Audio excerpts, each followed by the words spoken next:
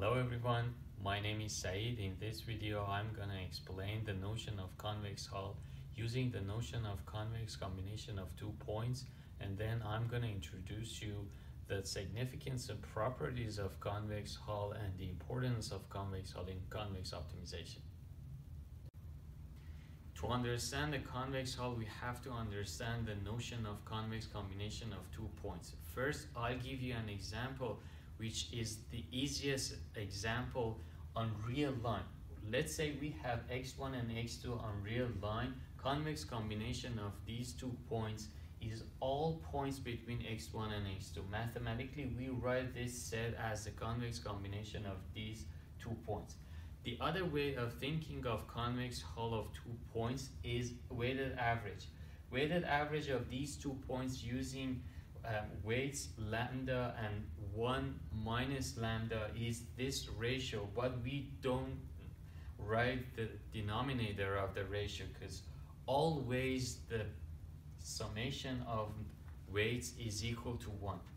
Now, if we generalize that notion to points in Rn and a set that contains all points in Rn, we get convex hull of a set C, denoted by conv C, which is a linear combination of points in C such that all the coefficients are non-negative and summation of all coefficients is equal to 1. That is the notion of convex hull. Here is an example of a convex hull using a set C that contains three points in R2, 0, 0, 1, 0, 1, 1. These three points has a convex hull which is this triangle. But the point is how can we get this triangle using these three points? First, let's say, for example, let's say we want get point A, which is 1 and alpha. To build this point, we first build point B, which is alpha times 1, 1, which is one of our points, and we have to then add this much to point B to get point A, and this much is 1 minus alpha, if we multiply 1 minus alpha to 0.10, which is this point, then we're done and we get point A. Now, if you see the coefficients theta 1, theta 2, and theta 3, you see that the summation of these three coefficients is equal to 1 and we have a convex combination of three points in R2 which is the convex hull of our set. The properties of convex hull are very very nice because we can resort to them and build convex sets that are very useful in convex optimization problems. The first property of convex hull is that convex hull of any set is convex. And the second one is convex hull of a set is the smallest convex set that contains the underlying set.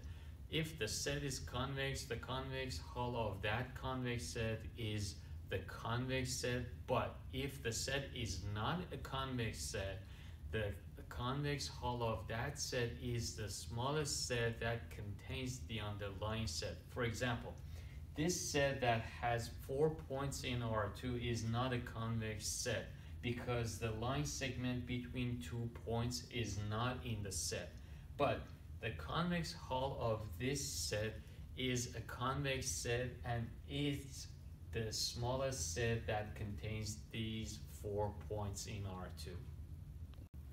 Finally, the notion of convex hull in convex optimization problem. But what is convex optimization problem? Convex optimization problem is a problem that has a convex function as its objective and constraint set as its constraint or feasible set. But what is why convex optimization problem is important? Because it is easily to uh, it is easily solvable and we can put this convex optimization problem into MATLAB or Python and solve this using CVX package.